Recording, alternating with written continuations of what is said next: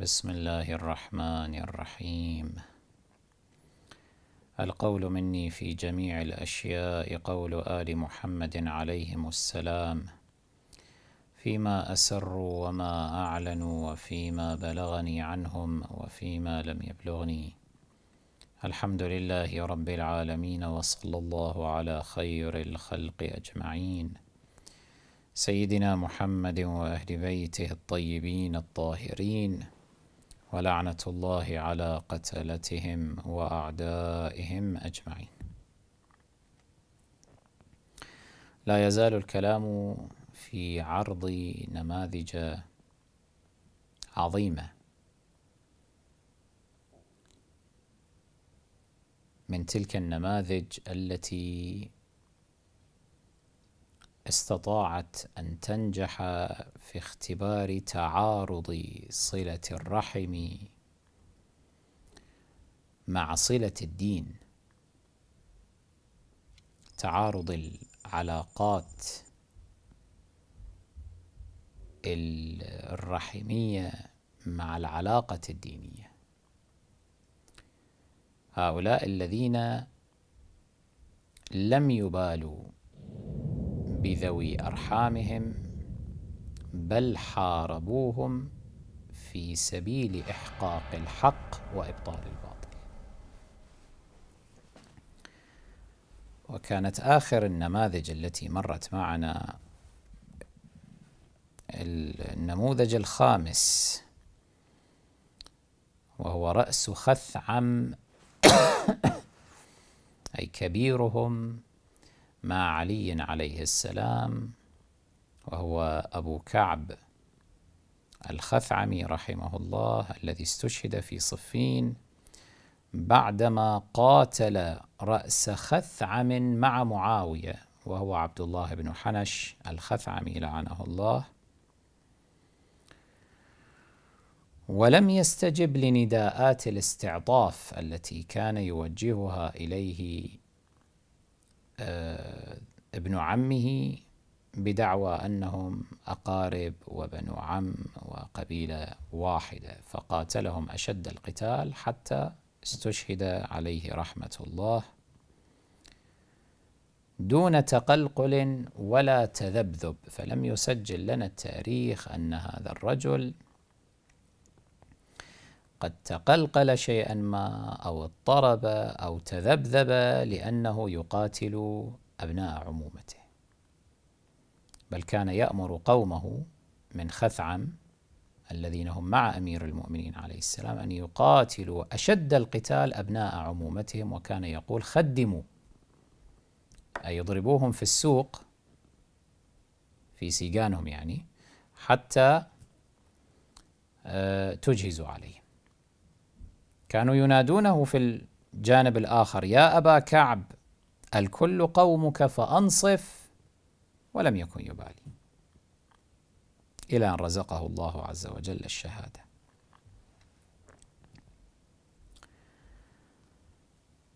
ولئن كان خثعم آه، أو رأس خثعم هذا رحمه الله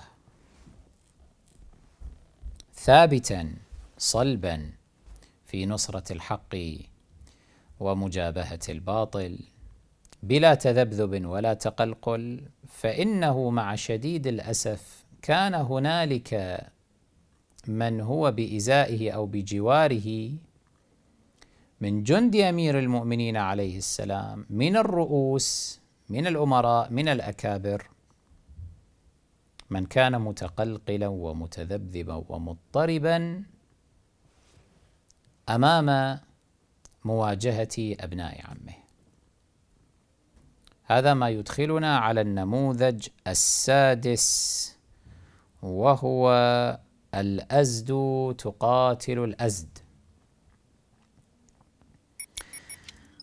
رأس الأزد مع علي عليه السلام ظهر منه شيء من التذبذب والتقلقل. قد حارب أبناء عمومته صحيح ولكن بانكسار وضعف كأنه مضطر ومكره.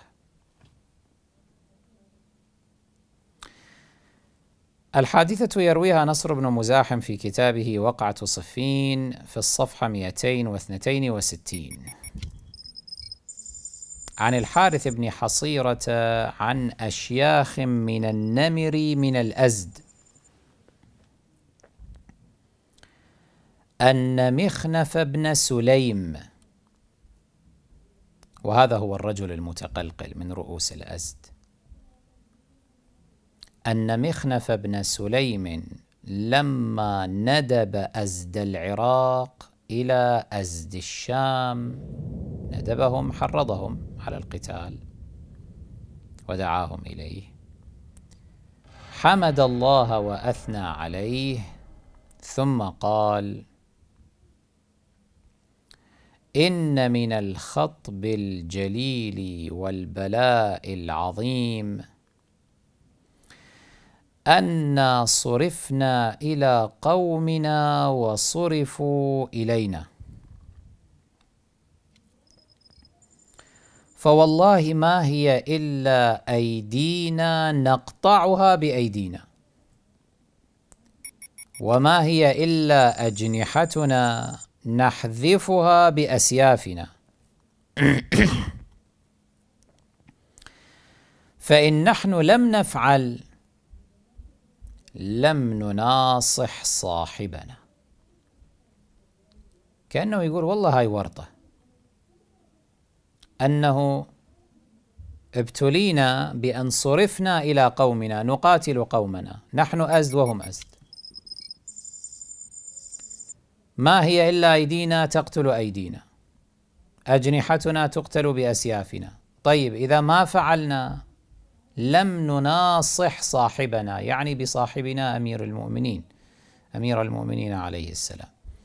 ويعني بلم نناصح أي لم نخلص. إذا لم نفعل إذا لم نقاتل أبناء عمومتنا وأهلنا فقد أظهرنا أننا غير مخلصين لعلي بن أبي طالب. عليهما السلام. فإن نحن لم نفعل لم نناصح صاحبنا ولم نواسي جماعتنا. البقية أيضا هنالك خثعم قاتلت أبناء عمها طي قاتلت أبناء عمها هاي القبائل هاي كلها اللي كانت مع أمير المؤمنين عليه السلام. قاتلت من هم من أبناء عمهم مع معاوية. وقد فقدوا من رجالهم شهداء. فكيف نواسيهم؟ إذا نحن استنكفنا ولم نقاتل بني عمومتنا. فإن نحن لم نفعل لم نناصح صاحبنا ولم نواسي جماعتنا. وإن نحن فعلنا فعزنا أبحنا ونارنا أخمدنا. من الواضح من كلام هذا الرجل كيف أنه متقلقل متذبذب. يداورها مثل ما إحنا نقول. يرى أنه من جانب يجب أن يلتزم الالتزام الديني في طاعة إمامه وقتال الفئة الباغية. من جانب آخر يرى أن هذه الفئة الباغية من أبناء عمه فيصعب عليه ذلك ويشق عليه. ويرى أنه قد أباح عزه إذا فعل ذلك. إذا عزوتنا وعزنا وإن نحن فعلنا فعزنا أبحنا ونارنا أخمدنا.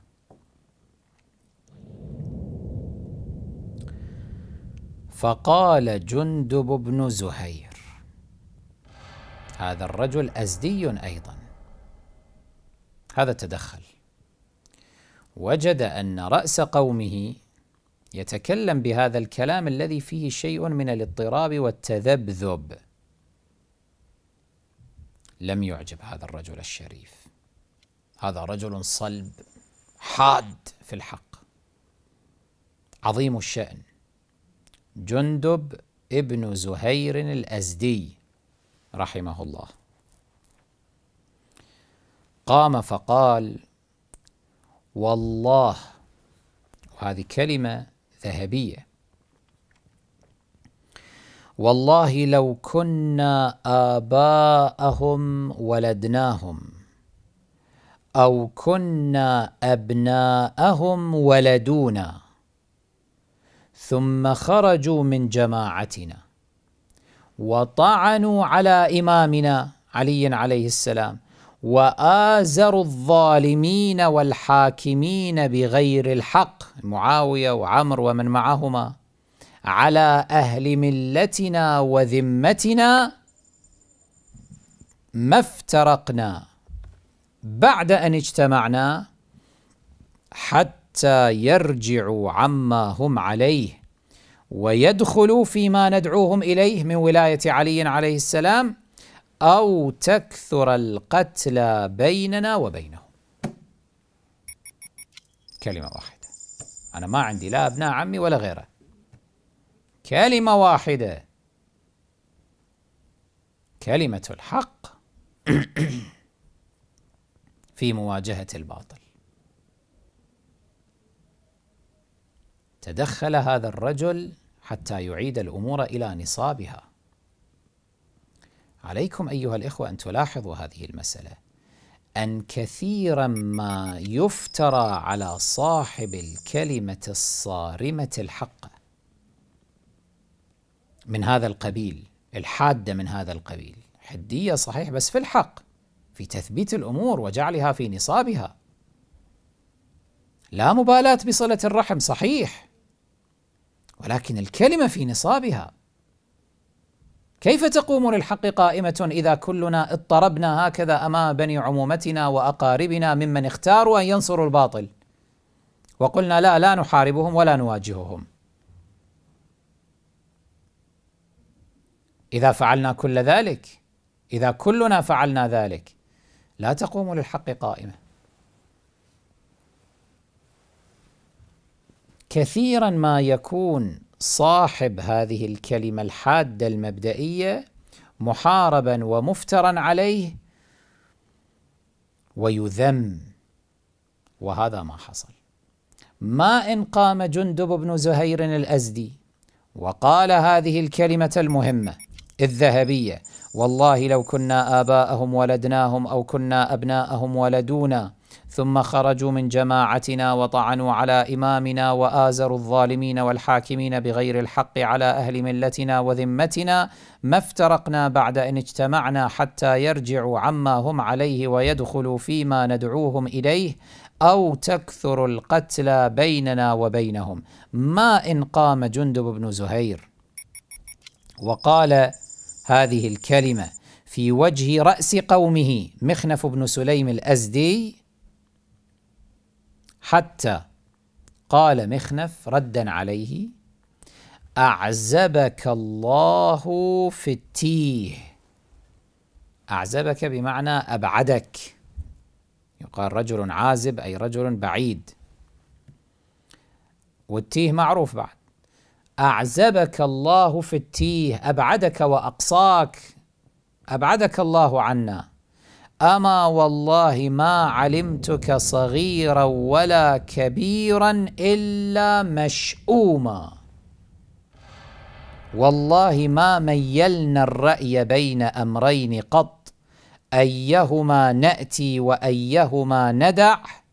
في الجاهلية ولا بعدما أسلمنا إلا اخترت أعسرهما وأنكدهما. شوف شلون يحمل عليه بالكلام؟ يقول أنت مشوم أنت. أنت من أهل الشؤم. أنت من أهل النكد. لماذا يرمي الرجل بكل هذا؟ لماذا يرمي؟ هذا الرجل الشريف. جندب بن زهير بكل هذا لأنه لا يريد أن, أن, أن يستمع لكلمة حق حادة كهذه. يريد أن يميل بين الرأيين. نقاتل قومنا أم لا نقاتلهم؟ هذا ضعف هذا بحد ذاته ضعف في الإيمان. إذا كان إمامك علي عليه السلام يأمرك بجهاد هؤلاء القوم. من هؤلاء؟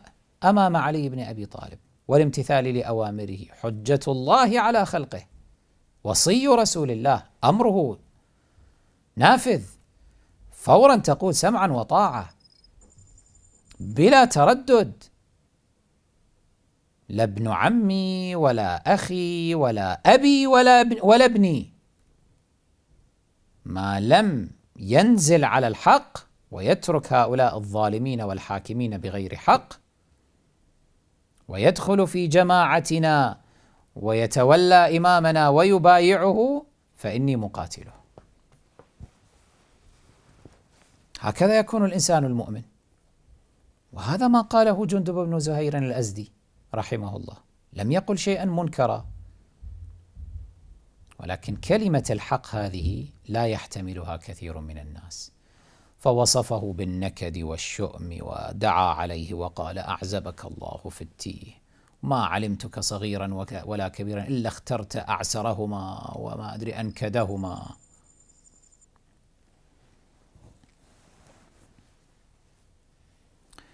ثم يقول اللهم فإن نعافى أحب إلينا من أن نبتلى. يريد العافية حضرة الآغا هذا فأعط كل رجل منا ما سألك. هنالك بالفعل صنف من الناس. حتى حين يتواقف الحق مع الباطل أي يتجابهان يحصل عنده شيء من التردد. يقول لا هذا قريبي.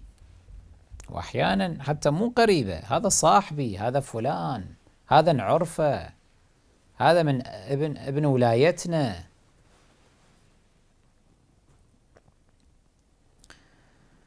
أحد الإخوة العاملين هنا معنا في الهيئة. قبل سنوات أبلغني أنه اتصل بشخص من هؤلاء المعممين.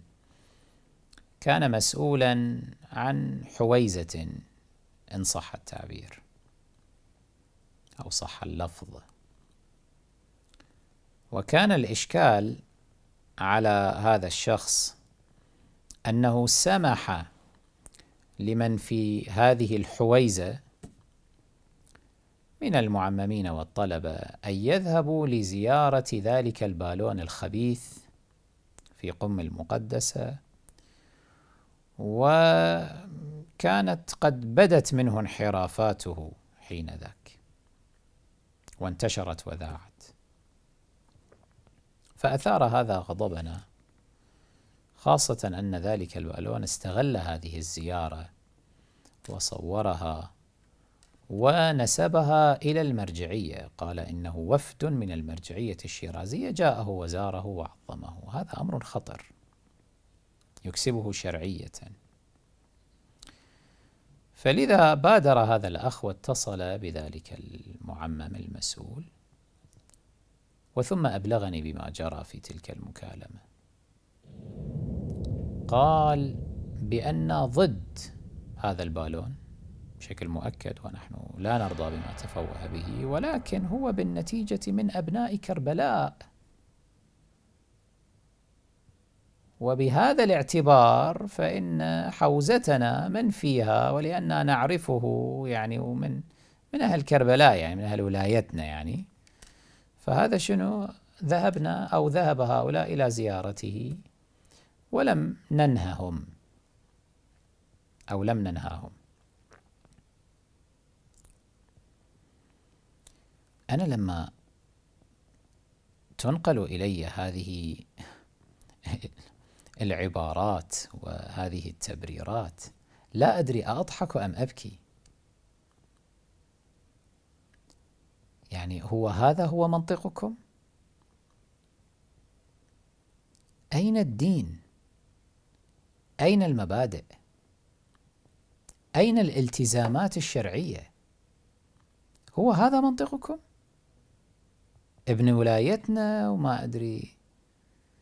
ابن محلتنا فإحنا عادي نروح نزوره ونعظمه وإلى ما هنالك. وإن قال ما يجرح قلب محمد صلى الله عليه وآله. ويجرح قلب علي وفاطمة وقلوب أهل البيت الطاهرين عليهم الصلاة والسلام. وإن تلاعب بالدين بهذه الطريقة بئسا لكم. أسأل الله أن يحشركم معه إذ رضيتم في هذه الدنيا أن تكونوا معه. للعلاقات ال ال شنو؟ العلاقات ال ال أنه من أهلنا ونعرفه وما أدري أو من أهل ولايتنا. إن شاء الله هم يوم القيامة يقولوا لكم هذا مو من أهل ولايتكم رحتوا له بالدنيا وزرتوه وكلكم من من نفس المنطقة ومن نفس المحلة. إن شاء الله هم إحنا بالآخرة وين هو موجود؟ نخليكم هم وياه. إن شاء الله إن لم تتوبوا. خلوكم وياه هناك إن شاء الله بجهنم مع أبي بكر وعمر. دين محمد يضيع بسبب تصرفاتكم هذه. وأنتم ولا أصلا ما عندكم دم ما تحسون اطلاقا. اخلعوا عمائمكم.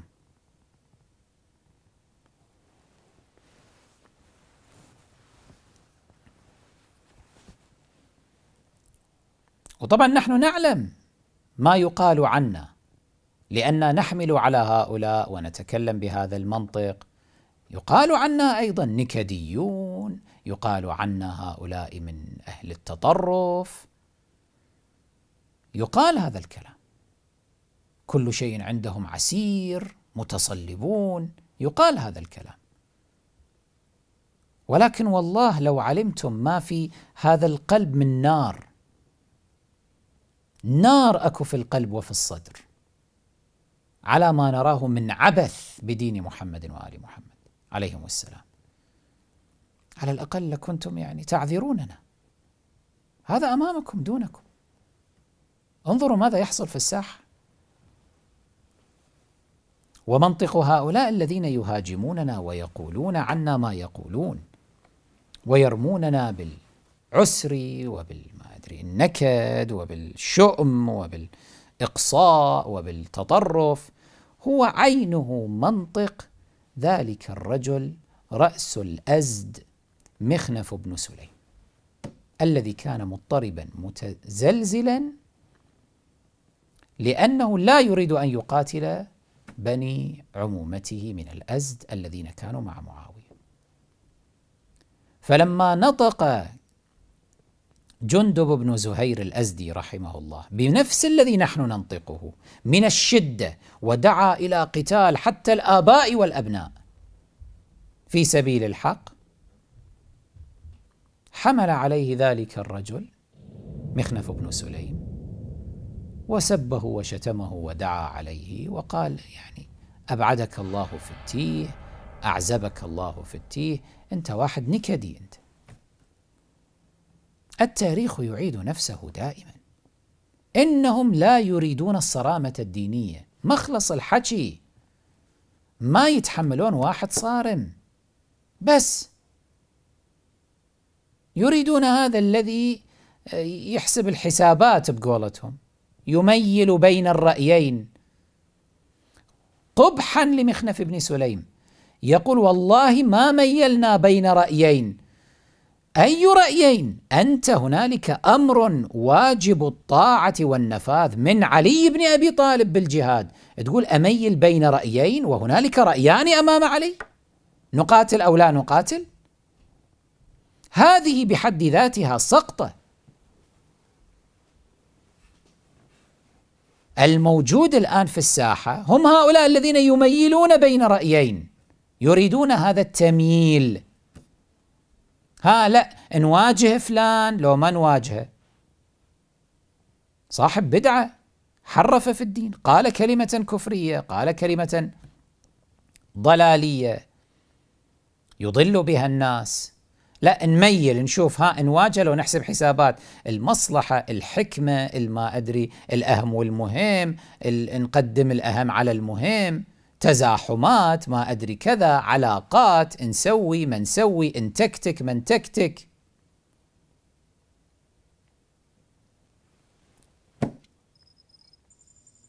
ماكو فايدة. ويا هذا الصنف ماكو فايدة.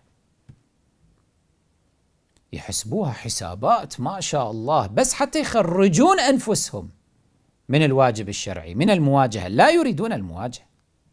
بصريح العبارة. هؤلاء على درب مخنف بن سليم. شيعي إيه مع أمير المؤمنين عليه السلام إيه صحيح. بس سقط في الاختبار. لا أقل بهذه النسبة أنه مضطرب يتردد. ها نقاتل بني عمومتنا لو ما نقاتل يحسب حسابات. مثل ما مر معنا. فوالله لا ندري إن لم نقاتلهم فلم نخلص لإمامنا أو لم ننصح لم نناصح إمامنا. ولم نواسي جماعتنا. وإن قاتلناهم فعزنا أبحنا ونارنا أخمدنا. تكتيك حسابات دا يفكر يشوف يراوسها يداورها. يميل بين رأيين. الشيعي الملتزم المؤمن الصالح يتكلم ولا يفكر إلا كما فكر جندب بن زهير الأزدي رحمه الله. هذا الرجل الجليل الذي يقول فيه الفضل بن شاذان كما في الكشي في رجال الكشي من التابعين الكبار ورؤسائهم وزهادهم جندب بن زهير رضوان الله تعالى عليه. إحنا من هذا الصنف. أنتم روحوا على درب مخنف بن سليم؟ زين روحوا على درب. تكتكوا وما أدري احسبوا حساباتكم وميلوا بين ارائكم وقعدوا. هاي جلساتكم اللي ما شاء الله ليل ونهار جلسات. نتباحث نتناقش. أما نحن فنمضي ولا نبالي كالسيف. نحارب نواجه نهاجم أعداء الله. نفضحهم نعريهم نحذر الناس منهم. هذا دربنا. ولا نبالي لا بأقارب ولا بمعارف ولا بأصدقاء ولا بأحد. إحنا مو مثلكم. طلبا لما كان يطلبه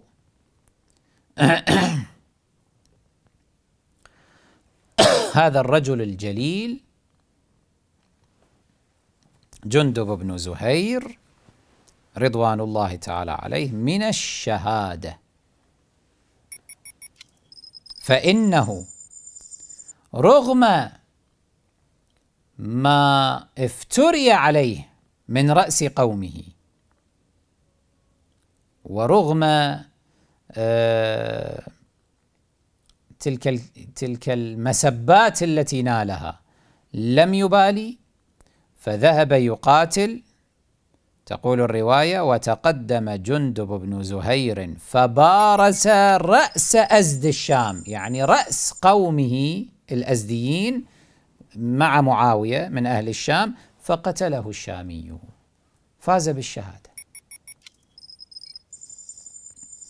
وهنالك في موضع آخر من كتاب وقعة صفين لنصر بن مزاحم. أعني في الصفحة 398